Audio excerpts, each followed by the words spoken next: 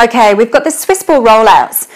With these ones, just making sure that the elbows start reasonably low down. They don't want to be too high up, otherwise you'll end up just landing on your chest.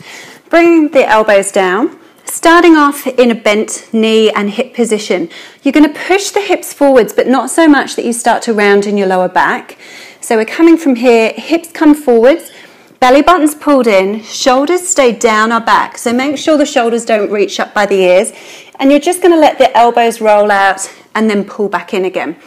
So it's up to you how far you go. This is a really good exercise for the stomach, but just making sure that you don't start to go too far and then dip in your lower back. So reach away, belly button pulling in. If it's poking out, you've gone too far, and then back in again. So that's your Swiss ball rollout.